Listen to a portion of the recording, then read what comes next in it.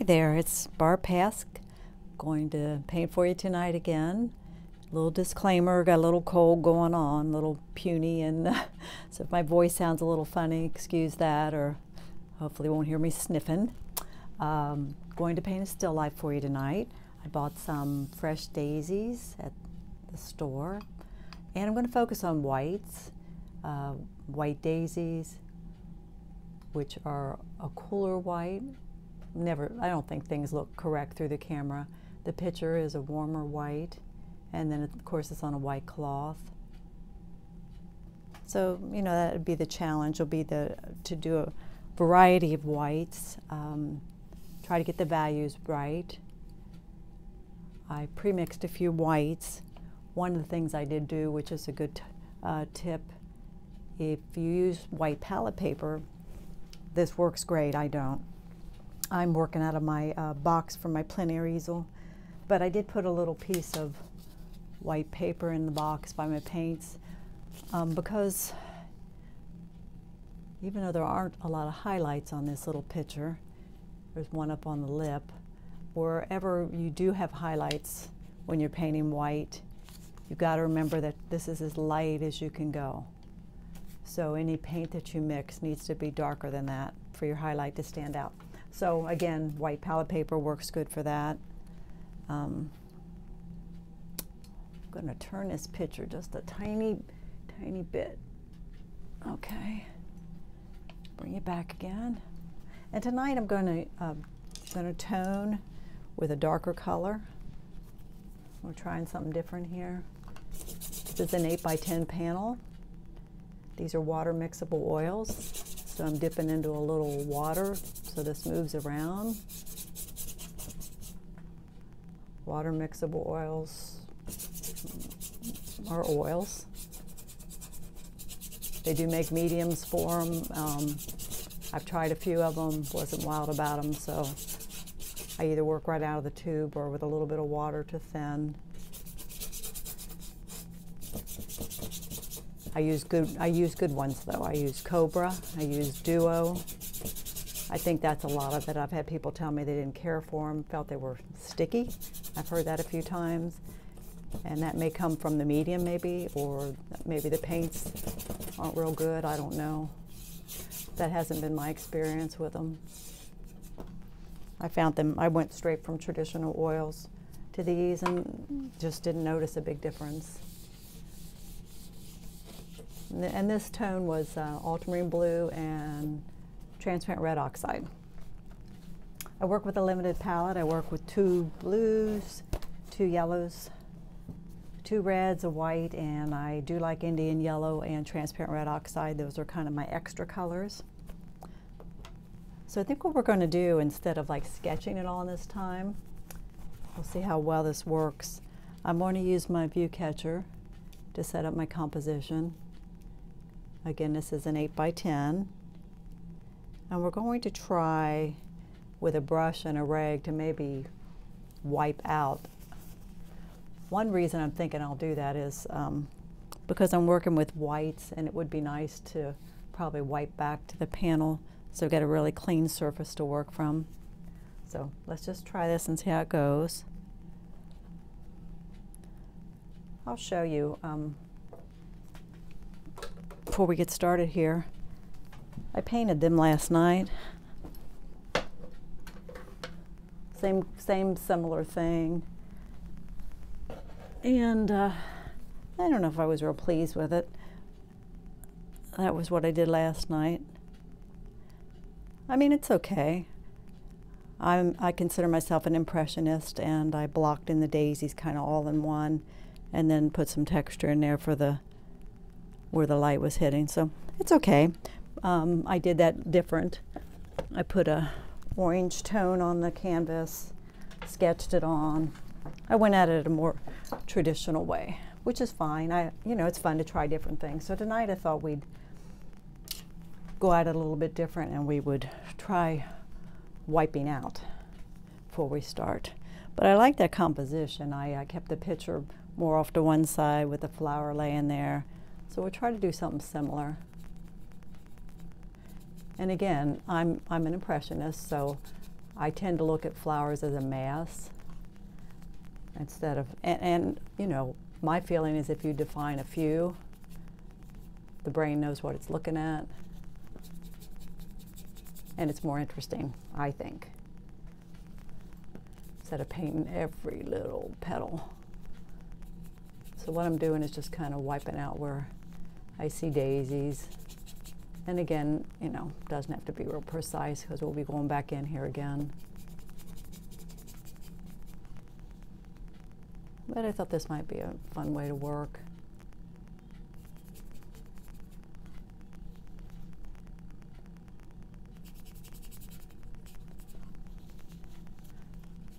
Nice to have some flowers in the house with it. Oh, about sick of winter. But we did have sunshine today. Gets depressing sometimes with no sunshine. I have daylight bulbs in my studio and I sometimes think that's good for me. I get in here and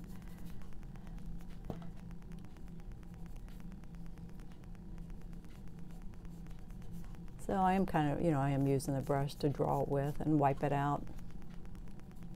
We could use a paper towel. We may do some of that.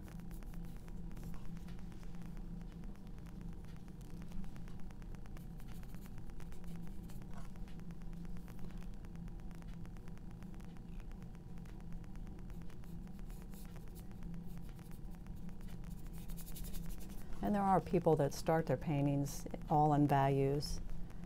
You know, they block in all their values and then they come in with color.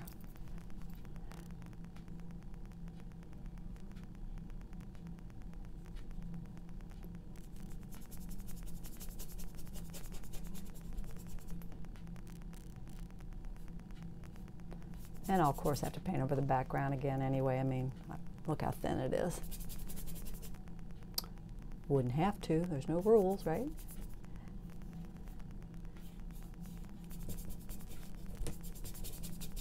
If I liked it that way, I could leave it that way. Let's try, let's try a little paper towel action here.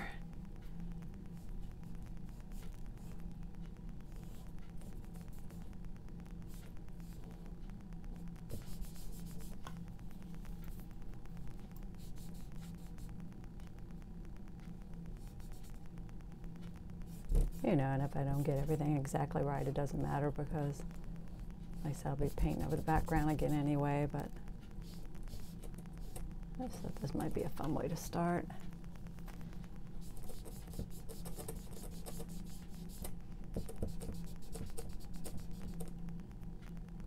And now we got a daisy laying here in the foreground. So actually it's light down to about there.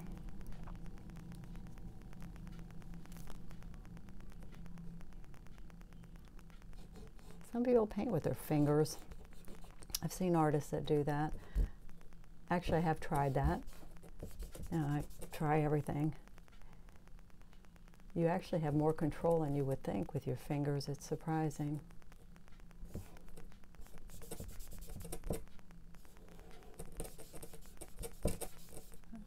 feels a little short to me.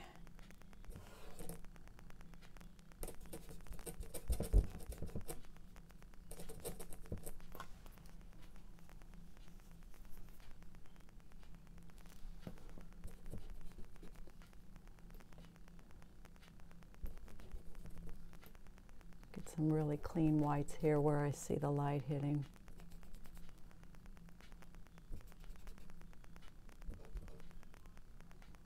arrangement moved around since last night.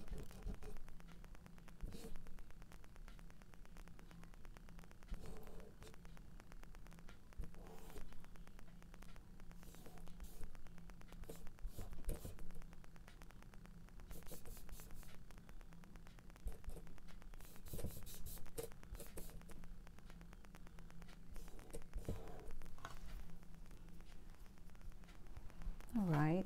So my goals are a few things. Um, I try to think about what I'd like to accomplish. I'd, of course, like it to be painterly. And, uh, I want to stay back on my brush, which is something I've been trying to tell myself to do lately.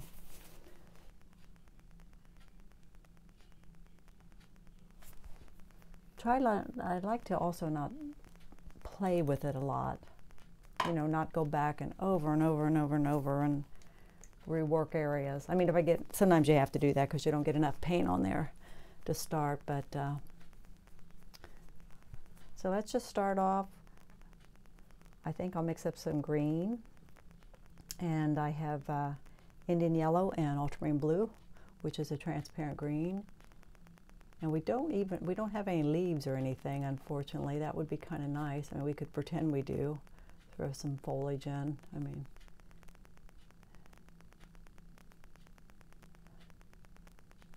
daisies, is just a lot of skinny stems, you know. And then we're going to mass in the daisies and um,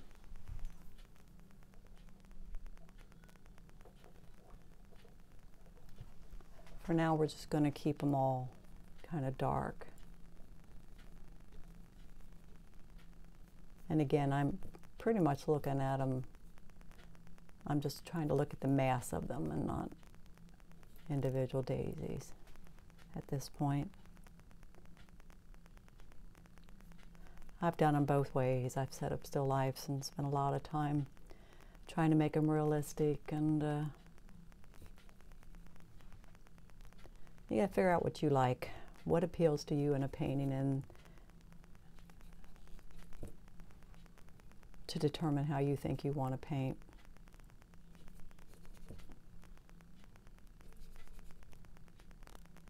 Hmm.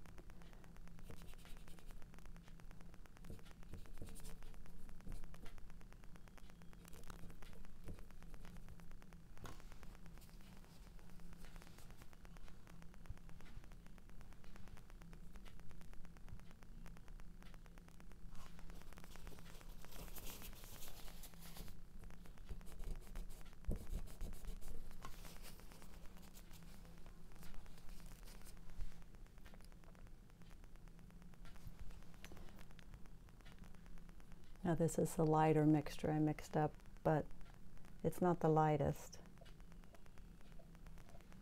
I'll probably do like I did last night, come in with a palette knife.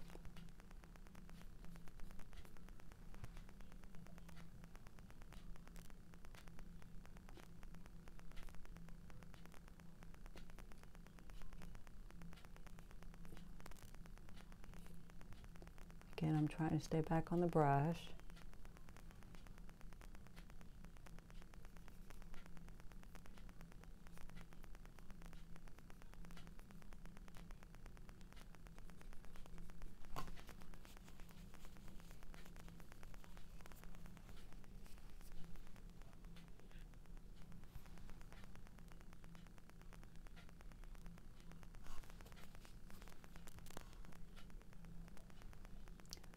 Kind of see down in this picture a little bit and it's fairly dark down in there so.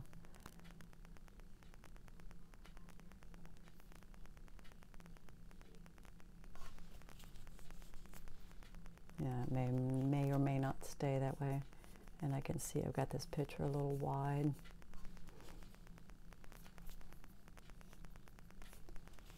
All right so we're going to um, leave those for now and we'll uh, start on the darkest part of the picture.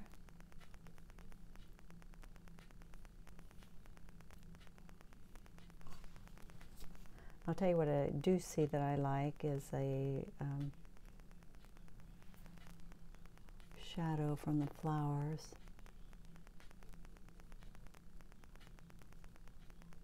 So we'll put some of that up into here. Got a little bit of a shadow down here from the Daisy laying in front.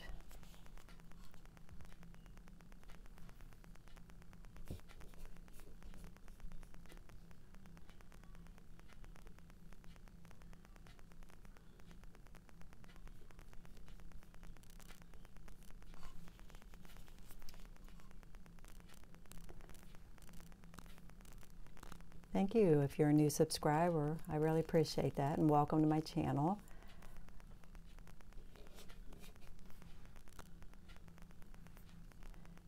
Numbers are slowly heading up, which is wonderful.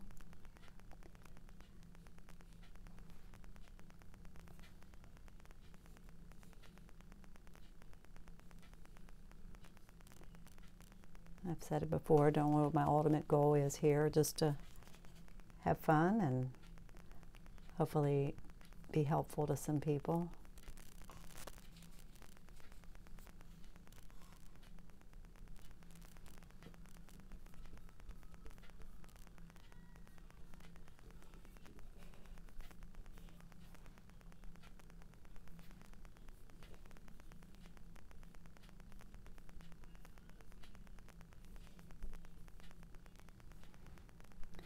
This is kind of in between the dark and the light area, and then it gets much lighter over here and warmer.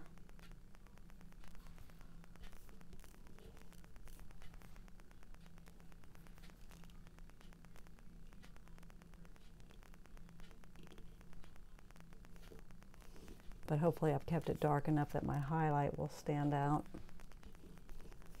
That was my intention.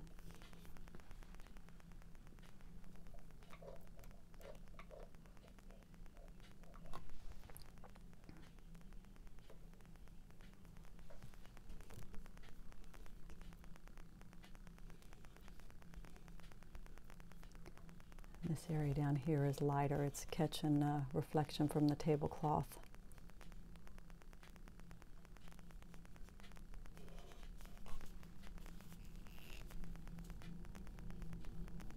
Soften up that shadow.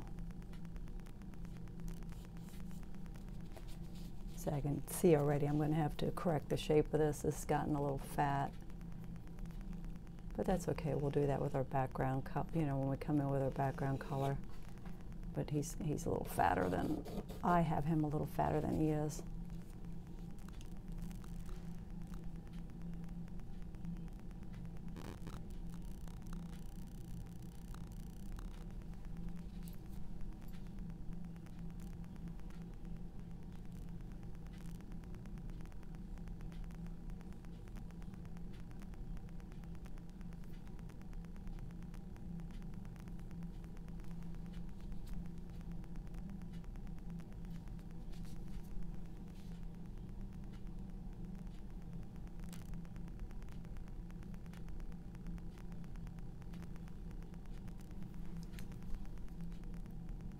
And I can see that little rim back in there. See, I'm choking up on that brush. I tend to do that when I go in for detail. And sometimes you have to. I'm not saying there's anything wrong with that.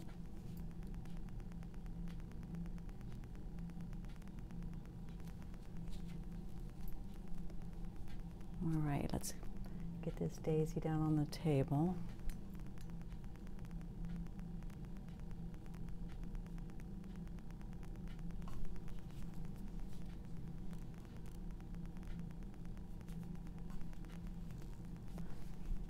And we're going to take some green and um, put the centers in where we see them.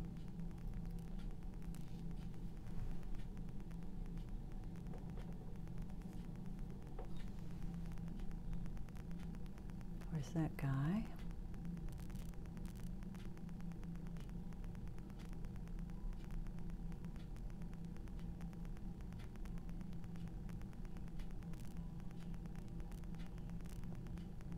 about it. We see the bottom of that one. And some green on the bottom of that one.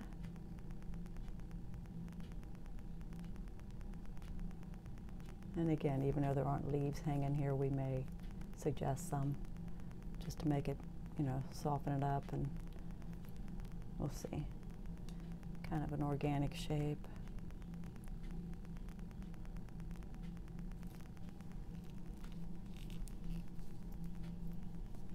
Yeah, I think what we'll do before we um, come in, you know, with brighter highlights on the flowers, I think we'll get everything blocked in.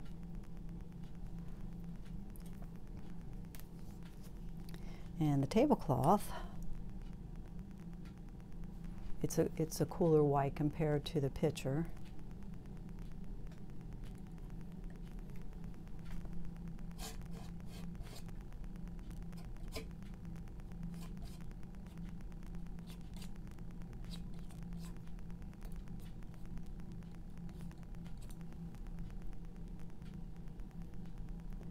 Palette knife's a good way to get paint on the canvas, even if you go back and rework it, it's still a helpful tool, I think.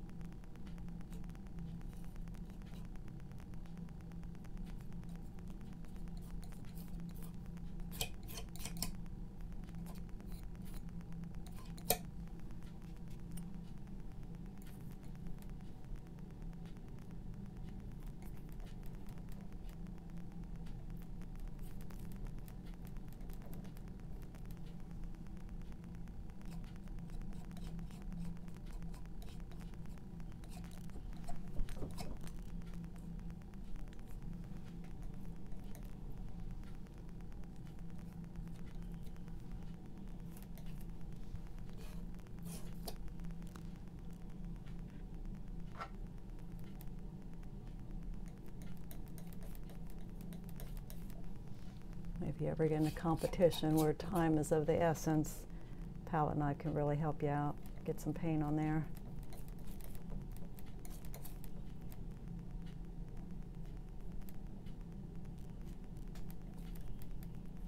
It's fun to compete. I do plein air competitions and I don't have any expectations, of course, but um, I, I enjoy it. I like plein air of course, if the weather's good, and it's really enjoyable. But I usually do a, a few a year anyway. Okay, we're going to go back to our bigger brush that we used to do the wash on.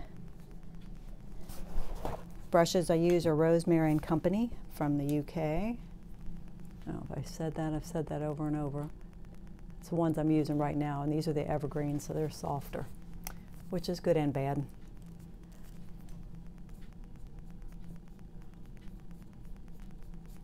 We're going to get some of this background blocked in. And the nice thing about the tone that's on there, we've got some color on there already, so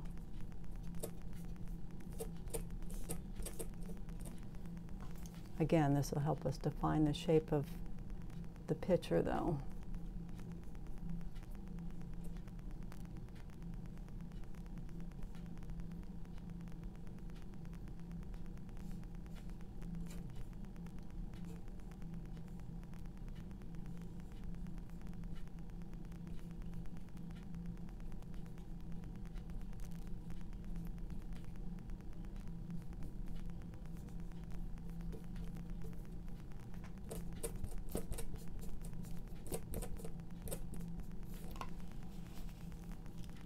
And I'm still working with a dirty brush because I don't care if my colors intermix, so.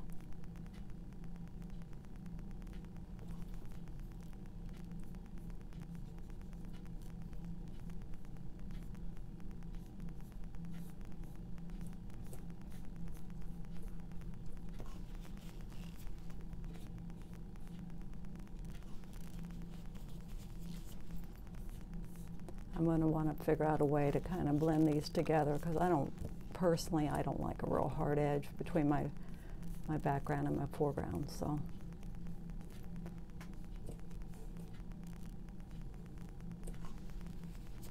One of the wonderful things about oils is you can just blend and blend. I say the good thing is that they blend, the bad thing is that they blend.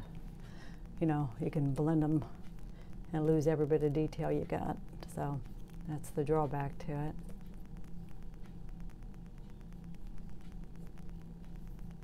And acrylics, I know they have their advantages if you're an acrylic painter. I use them for some things. They're just a different way to work, you know, layers and layers, and for me anyway. And I know you can block in the background and then come in and paint over top of it. And I like working the whole painting at once, though. I don't like piecing it together. I think you kind of need to work it together to really know what's going on.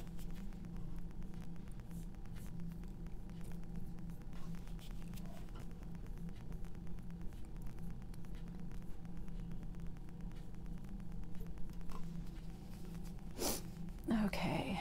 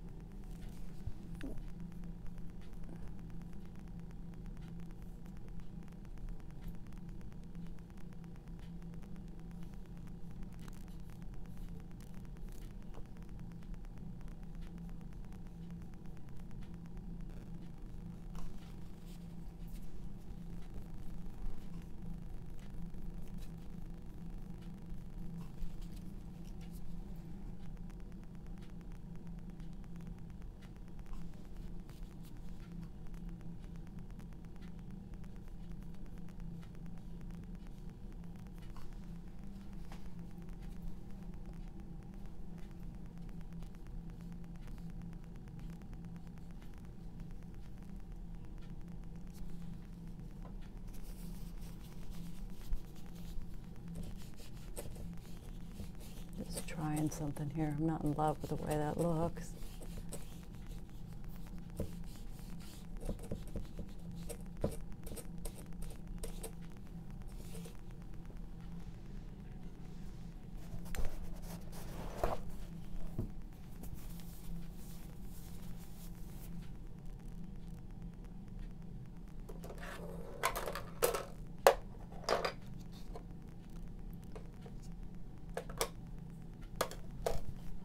All right, we're going to switch to our palette knife and we're going to go look at the daisies.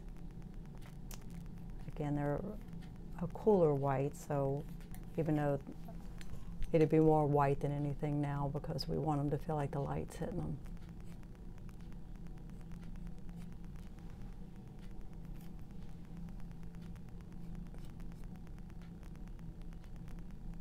Just looking to see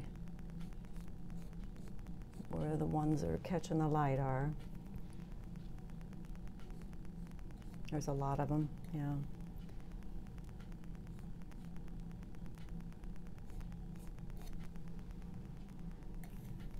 But my feeling on flowers are um, these are all daisies. But if I explain a couple of them, then you know you're looking at daisies. I don't need to explain them all.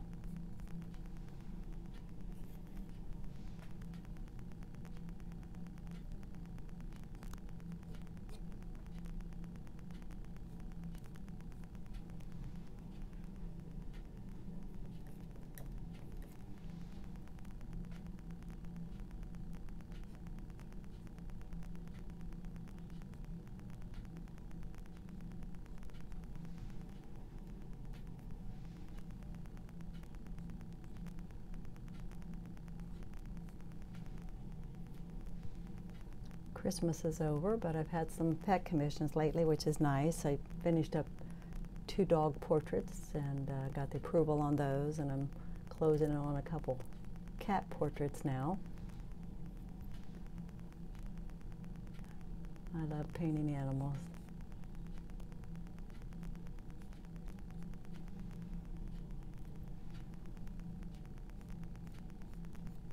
Check out my website if you want. Um, I'll put it in the description box below.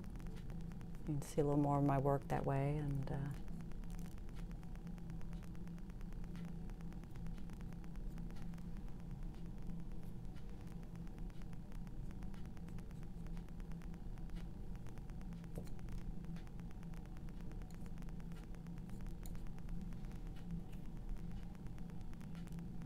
Oops, got a little too much paint there.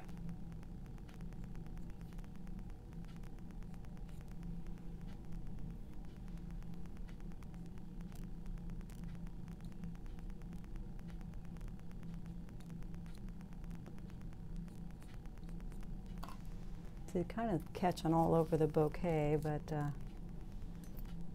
let's put a center in that one, even though I don't see it.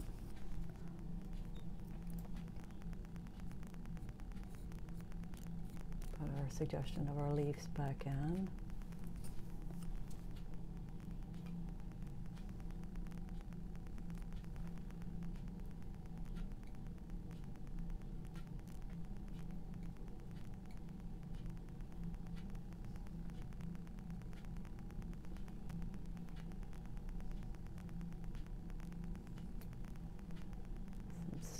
Stems.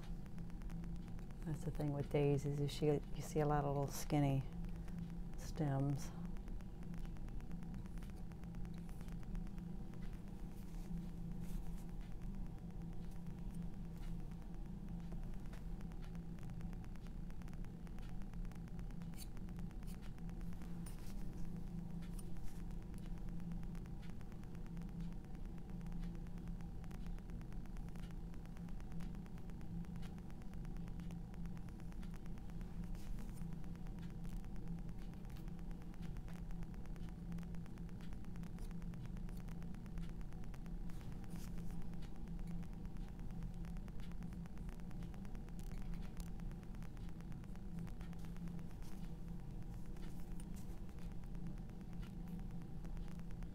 premature, but let's look at this guy down here too and see where he's catching light.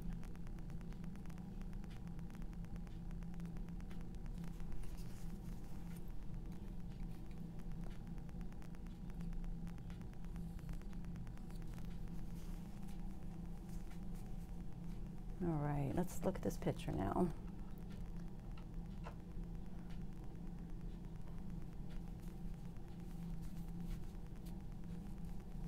Need to work on the shape of him a little bit, so let's do that. I'm gonna clean up my brush for the first time, really.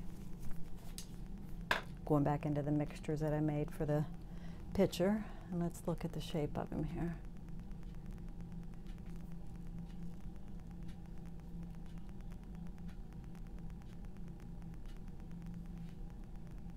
Again, he was fairly thinly painted.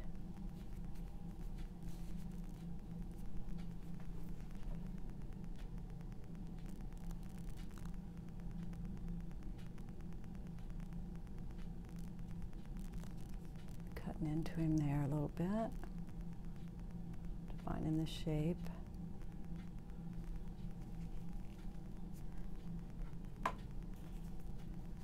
Of course, we don't have any shadow under him yet either.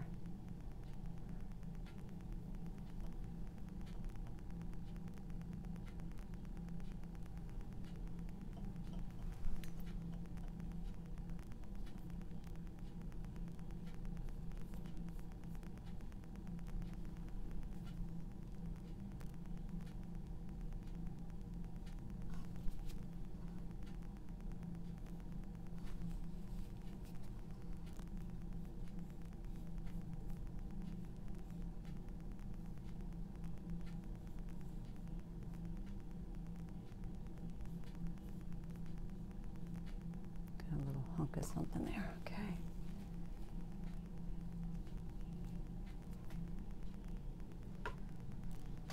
It's a little early, maybe, but I'm gonna get out my um, liner brush because I want to put in this lip that I see. Let's see, I get enough paint on there.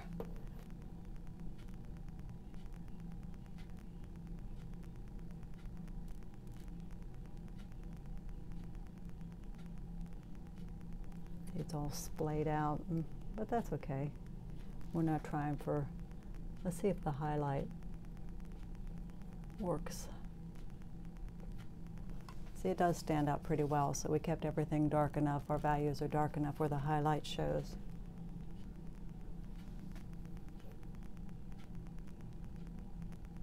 It's really amazing how dark you can go with white and it still read like white.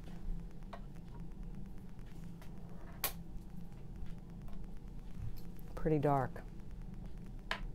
Look around at some paintings, you know, if you Google paintings of um, white objects and see how dark people have went, sometimes it's very surprising. All right, I'm looking at my shadow and my shape.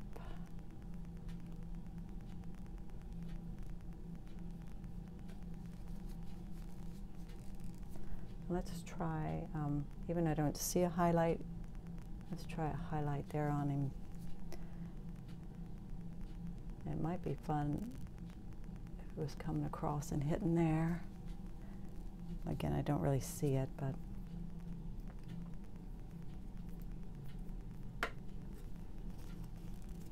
and I can see the lip here, which I kind of like.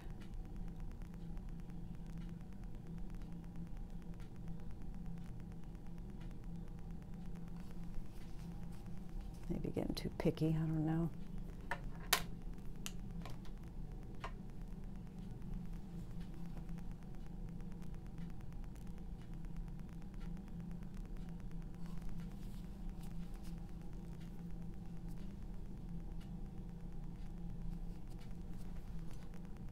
That's the shadow of the daisy. Might actually be fun if it felt more like a daisy. You know, kind of the shape.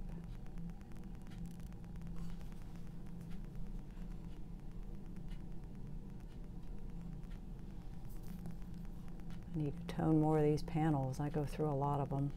I order these from Dick Blick. I think I told you that, and they're gessoed, but mm, I have to put a couple more coats of gesso on them. They're just real slick.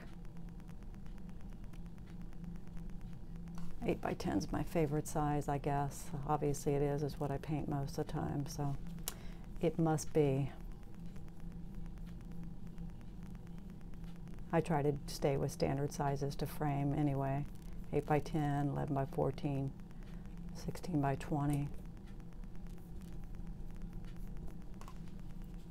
See, we don't really have a, um, a definite place here for the picture to be, but I think that's okay. I, I think it works anyway.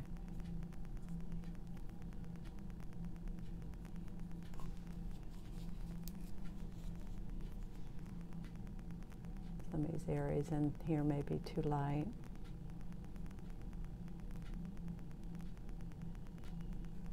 One advantage of staying with a wash on there, uh, starting with a darker wash, I mean, you know, we had some color on the panel.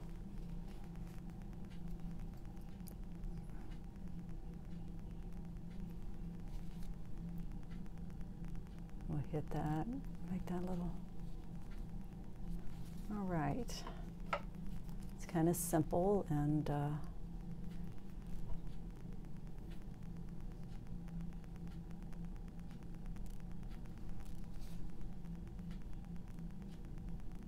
little darker there, cleaning up the shape of the picture.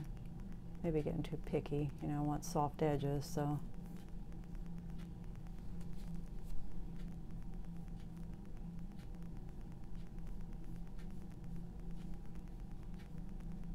Push and pull, right back and forth.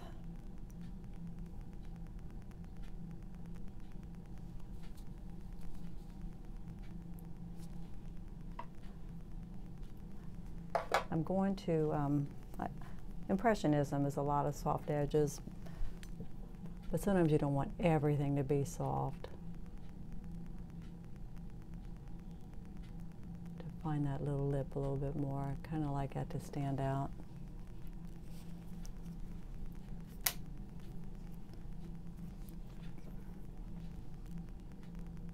And I feel like we need to do a little something here so the handle stands out a little more without getting too picky and hard edged.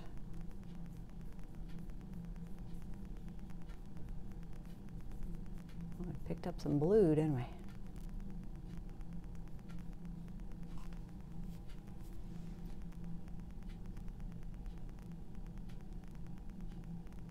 Kind of give that a bit of a flower shape too. Things like that I think can be very interesting in a painting. An interesting shadow or um, some reflected color can just be wonderful.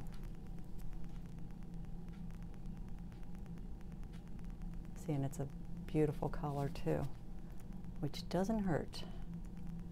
All right, let me look at these daisies again and see if we want to make any of them more sense out of some of them. Now this is not my lightest color, but I feel like maybe we need to explain this guy a little bit better.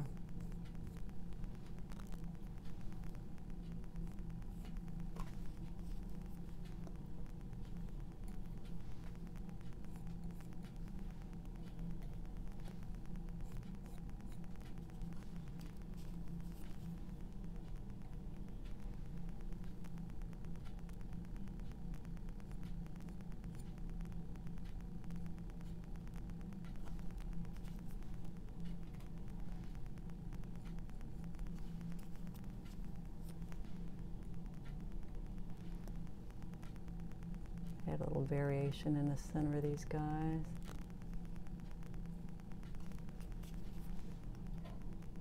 What's attractive is to put a little um, transparent red in there, get a little warmth in there too.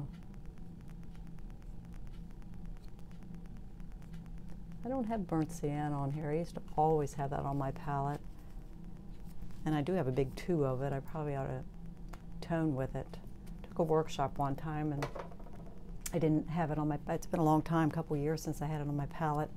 That particular instructor did not like it and uh, I don't know, I just haven't put it back, but I have, like I said, I have a whole tube of it. I ought to start using it. At least to tone with, huh? I love the transparent red oxide, which is similar, but again, transparent. Probably my favorite color. All right.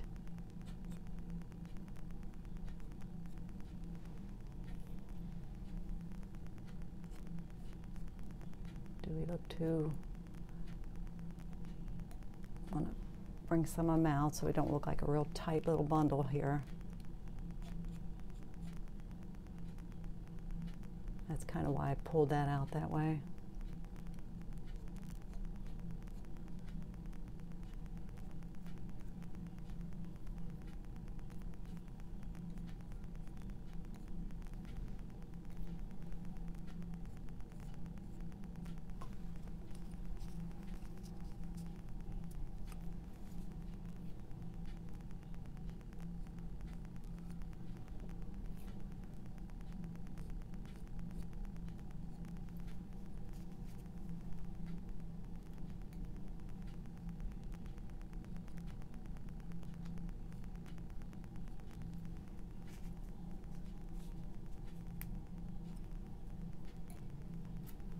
All right, I'm going to um, mix up a very dark, dark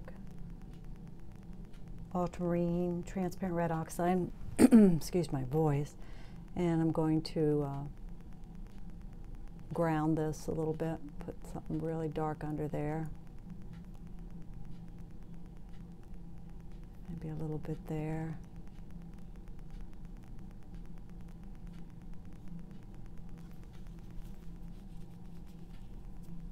It's a little bit thick.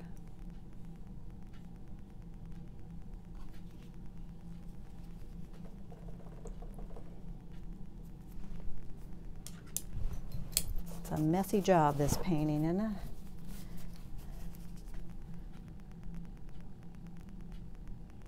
Some people are not messy at it. I'm messy at it. I paint with one gentleman that it's amazing how neat he is. He puts out his paints and um, after he's done, he well, he, th he throws away what's left because he completely cleans up and wipes down his palette and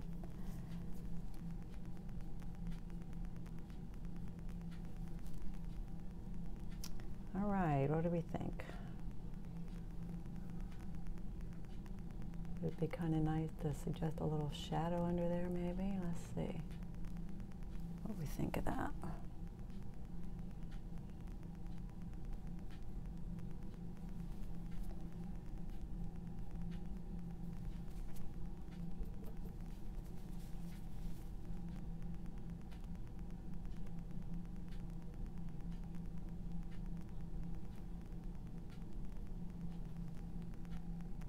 A little bit of that color up in that shadow too, in both.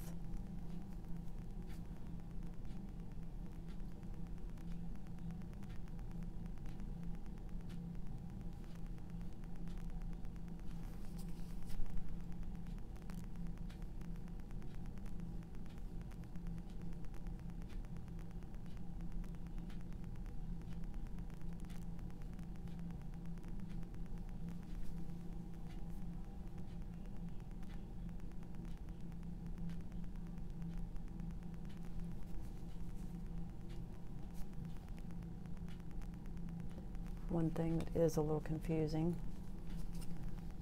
This is a flower petal off of the tip of that uh. I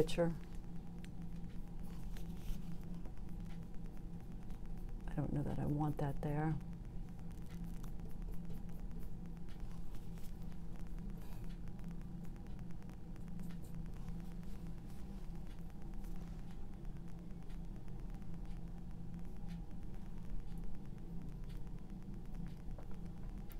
Get just a little darker back in here so you can really see where the picture is. Kind of lost that.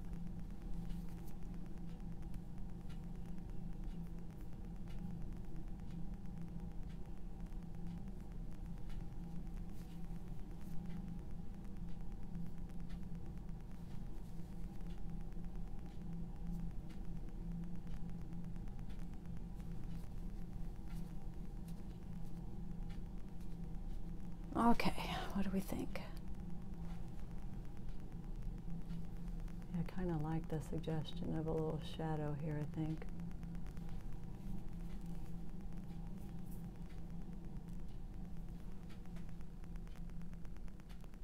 Sometimes the simplest things can be really nice.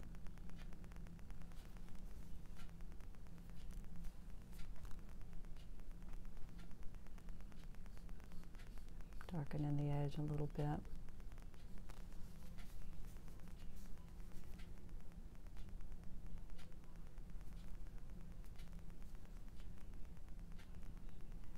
Alrighty. It's pretty good. Kind of simple and uh,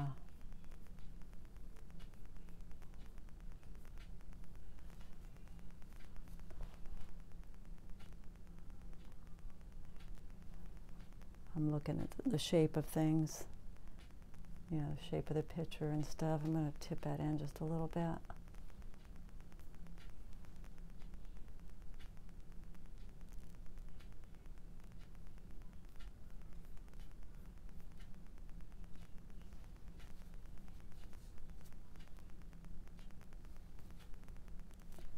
All right, let's call it. I'll get up and show it to you. 47 minutes, that's pretty quick, isn't it?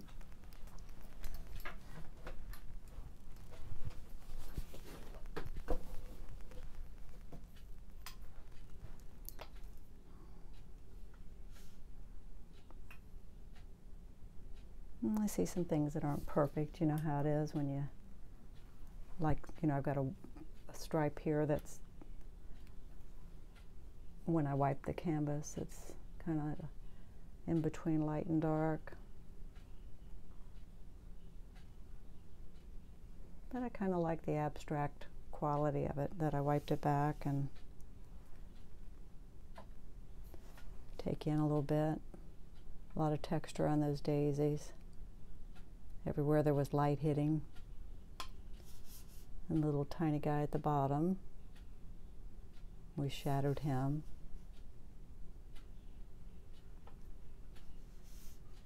Well, it was fun and quick. Um, always good practice. Um, again, like and subscribe. Check out my website. Find me on Facebook, Barbara Pask Fine Art. And join me again soon. Have a nice night. Bye bye.